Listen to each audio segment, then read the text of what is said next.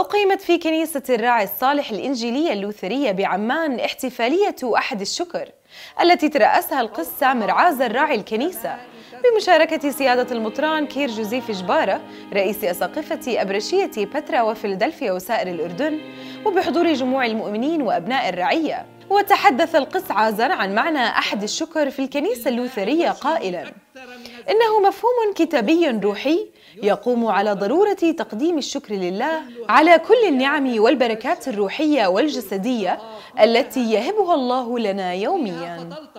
شكرنا يجب أن يترجم بأفعالنا.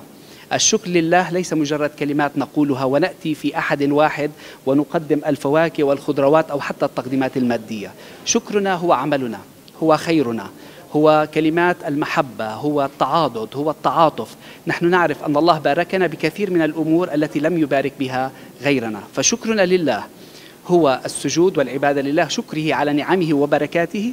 وانطلاقا من هذه الحالة الإيمانية نمد يدنا لنساعد المجتمع من حولنا ليرى هذه البركات فتعود بالمحصلة على شكر الله على كل النعم والبركات على أنه يسخر ملائكته خداما من خلال البشر. الملائكة هم خدام الله على الأرض هم البشر الذين يعينون في كل الأحوال.